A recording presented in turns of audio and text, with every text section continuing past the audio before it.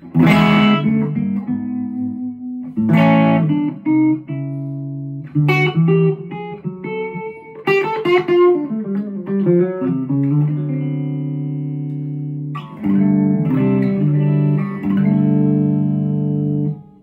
んにちは、まさやチャンネルまさきです。今日はこのレスポールを、えー紹介したいと思います。今日はね、この中身というか、この心臓部についてちょっと語ってみたいと思います。オリジナルはカスタムバッカーかな？カスタムバッカーの1と2なのか、ちょっとその辺は僕よく覚えてないんですけど、それが入ってて、レコーディングもそれで使ってました。えーただなんか最近のこう傾向として、ネックピックアップはすごくこうコンプ感があってパワフルなのに、ブリッジピックアップがネック側に比べるとちょっとこう弱いなと前から、えー思ってて、で、リプレイスをいろいろ考えてた時にですね、えージミー桜井君っていうあの、セッペリンのトリビュートの、えーもう凄腕ギタリストから、えーグリーニングドッグピックアップはどうですかと紹介していただき、それで、まあ、紹介していただいて、で、早速その自分のこうあありたいなとか、こういう音を出したいな、ネックピックアップはこうであってほしいなとか、こうであってほしいな、ブリッジはこう、もっとこうパワーがある方がいいなとか、いろいろそういうのをこう相談したところ、巻いていただいたものがもうこれです。えーライブでも使いましたけども、とっても気に入ってて、出力はそんなに高いわけでもないのに、こう、クリアで、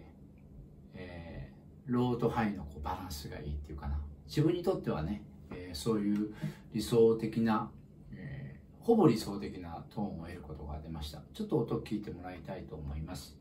まずネックピックアップだと、アンプはちょちょっとだけ、ちょっとだけクランチになってますね。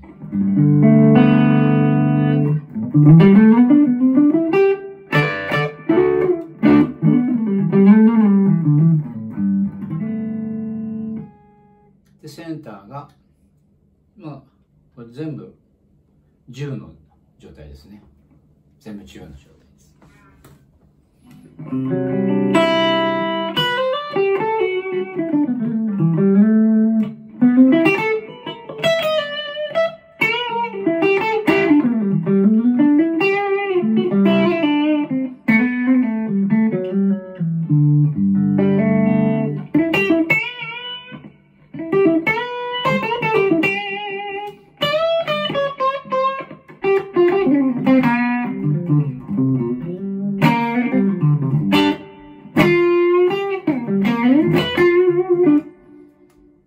このセンターの音っていうのかな？独特の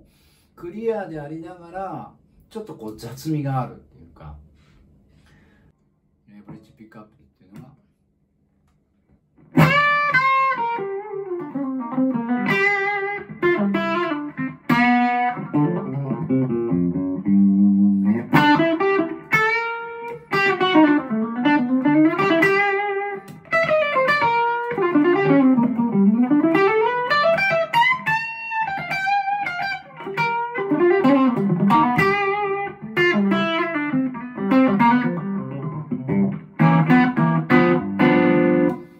クリーンで大体こんな感じですね。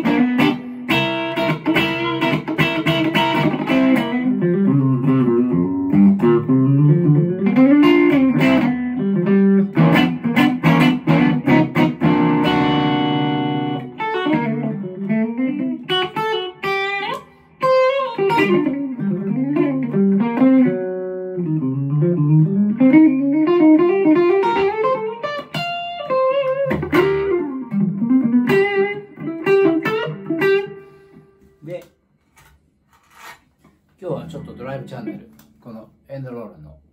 愛用してるこのペダルですね2種類の歪みが、えー、やるのでちょっと歪ますとこんな感じになるっていうのをちょっと聞いてもらおうかなと思います。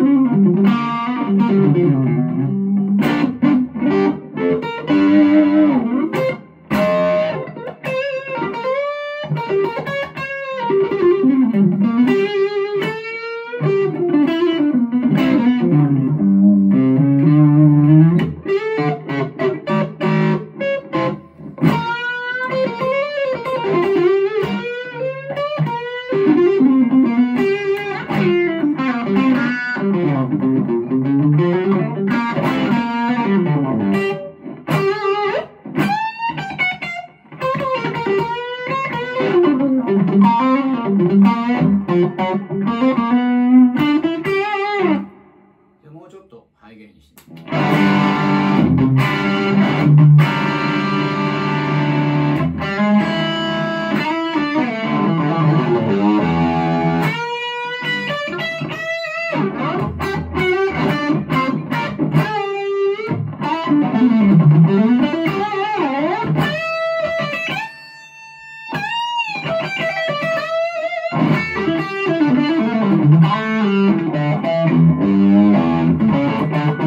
うん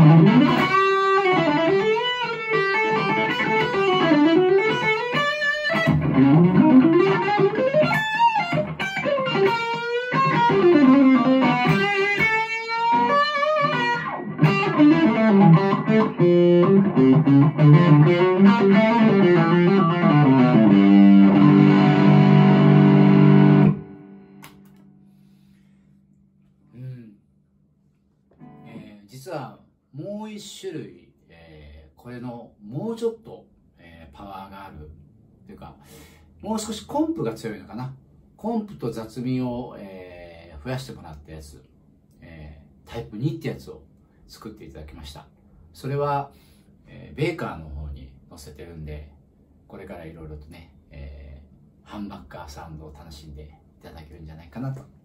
思います。今日は、ベー、スボールとグリーンドッグを紹介してみました。ありがとうございました。